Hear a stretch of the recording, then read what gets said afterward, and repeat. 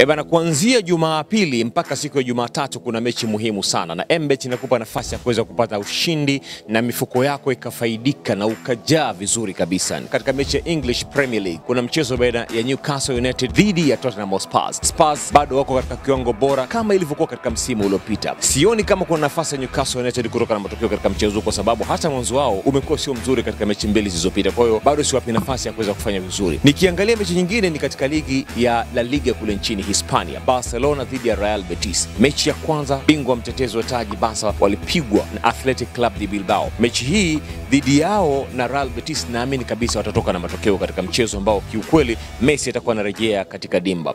Ufunguzi wa Serie A tayari, Milan wanakumbana na Lecce. Hii ni moja kati ya mechi ambayo itapigwa katika siku ya Jumatatu, kuna ile Monday Night Football. Wape nafasi Inter, naamini wataanza kwa kishindo ligi hii. Bashiri na Mbet ili uwe bingwa. Mbet, nyumba ya mabingwa.